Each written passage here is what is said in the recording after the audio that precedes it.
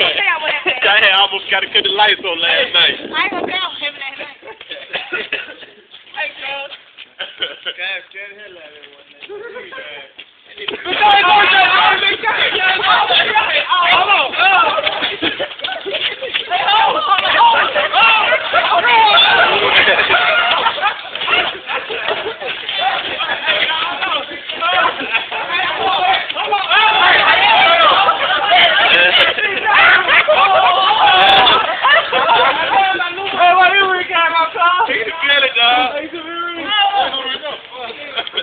up and be ready.